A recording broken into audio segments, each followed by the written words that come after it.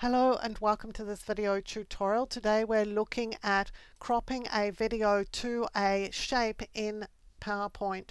So we're going to start on a new blank slide. I'm going to insert my video using the insert video option. I'm going to choose a stock video. I'm going to choose this one and insert it into my document. Depending on the speed of your internet, this might take a minute or two to download and appear inside your document. I'm going to set up my video so that it plays when I want it to. So I'm going to select it, click playback and make sure it's set to start automatically. Now the tool that I need to use to crop this video to a circle isn't available and it's not going to be available unless I make it available. So let's go and do that now. I'm going up here to the quick access toolbar. I'm going to click on this down pointing arrow and choose more commands.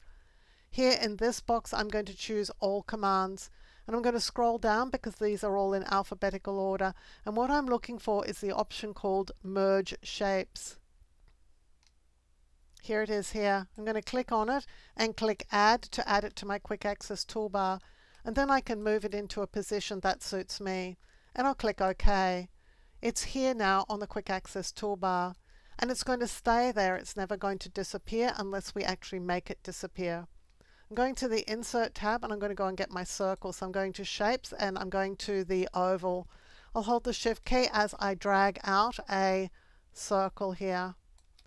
Now I'm going to place it roughly where I think it should be and size it appropriately. You can test it if you need to by going to the Shape Format tab, go to Shape Fill and choose More Fill Colors.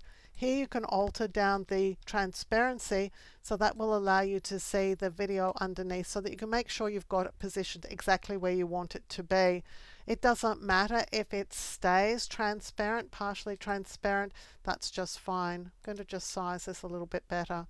So the video is going to play in this circle.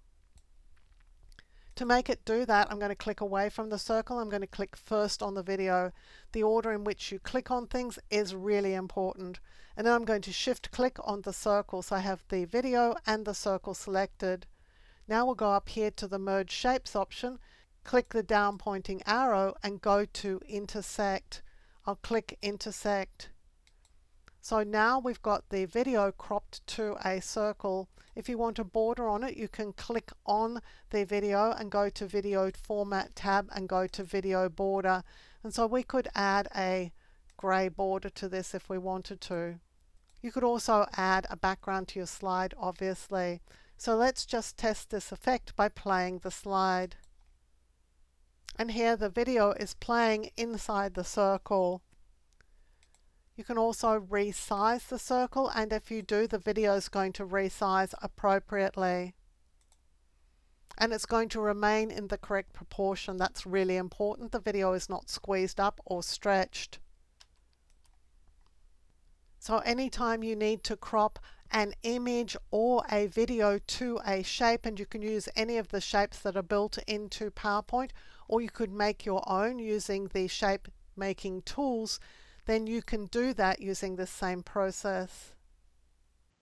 If you like carefully researched content like this, clearly presented in a step-by-step format so that you can get great results every time, then you'll love my other YouTube videos. So give this video a thumbs up and click to subscribe to the channel. And on the screen now, you'll see a video that I've handpicked for you to watch next.